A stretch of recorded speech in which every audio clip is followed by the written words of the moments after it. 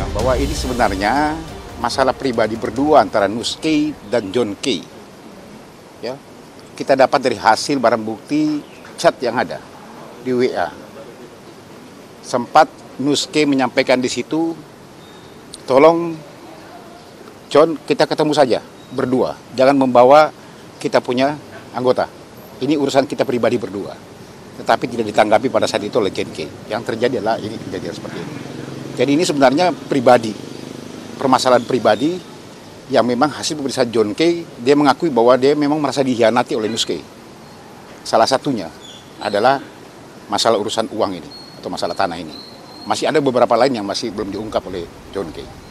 Cuma dia sampaikan setiap ditanyakan pasti akan bilang saya dihianati oleh Nuske. Itu yang disampaikan.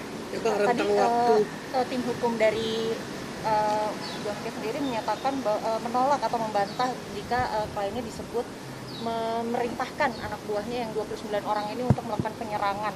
Itu seperti apa, Pak? Silakan dari- silakan saja. Ini kan ada mekanisme hukum. Semua penyidikan saksi-saksi bukti-bukti kan ada. Ya, ada mekanisme hukum silakan. Pak, Rizky kan mengatakan berharap hubungannya dengan ah, kejadian ini berakhir damai. Kalau misalkan nyata laporannya dicabut, apakah polisi akan terus melanjutkan pemeriksaannya, Pak? Ini pidana murni ya. Ya, silakan saja itu nanti itu di pengadilan. Tapi ini proses tetap berjalan. Ya, karena ini adalah pa- pasal 340 pembunuhan yang direncanakan ya.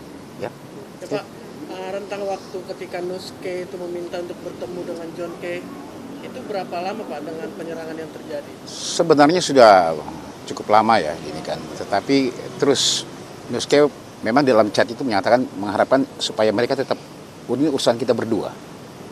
Ya, kalau boleh ketemu kita berdua. Jangan membawa kelompok-kelompok atau teman-teman kita yang lain. Jangan melibatkan yang lain. Ini cukup kita berdua saja. Tetapi memang tidak ditanggapi. Bahkan tidak pernah dibalas lagi terakhir itu eh, WA-nya dan sekarang inilah yang terjadi. Oke? Terima kasih ya. Apakah benar perencanaan penyerangan itu sejak eh, sejak John Kay di penjara, Pak? Ya, nanti kita dalami semua itu. Pak, untuk eh, pemeriksaan Pemeriksaan John K Pak, bagaimana, sebagai Pak? Nus- Nuske- Nuske sudah diperiksa, tapi nanti kemungkinan akan ada pemeriksaan tambahan, tapi ini masih kita jadwalkan. Malam kemarin pada saat penangkapan itu, ya, mungkin kalau teman-teman hadir di sini, jam 3 itu Nuske ada di sini. Datang ke sini, mungkin yang datang ke sini lihat sendiri.